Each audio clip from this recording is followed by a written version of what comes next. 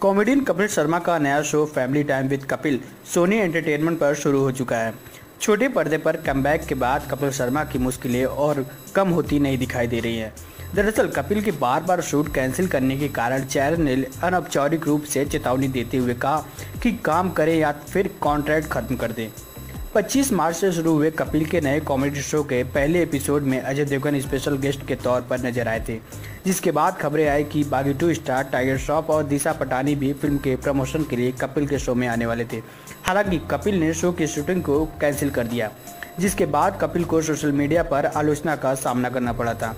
जिसके बाद कपिल ने ट्विटर पर सफ़ाई दी थी कि टाइगर और दिशा शूट करने वाले ही नहीं थे तो शूट कैंसिल होने का कोई सवाल ही नहीं उठता है। हाल ही में ऐसी खबरें आई कि कपिल अपने अगले एपिसोड के लिए रानी मुखर्जी के साथ शूट कैंसिल करने वाले थे। हालाँकि कपिल ने हिचकी स्टार के साथ शूटिंग कैंसिल कर दी।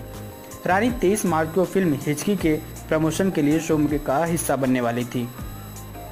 सूत्रों के अनुसार कपिल के लगातार शूट कैंसिल होने के कारण चैनल के एक अधिकारी ने अनौपचारिक रूप से चेताया कि आप शूटिंग करते समय पर करें या फिर चैनल के साथ किए गए कॉन्ट्रैक्ट को खत्म करें।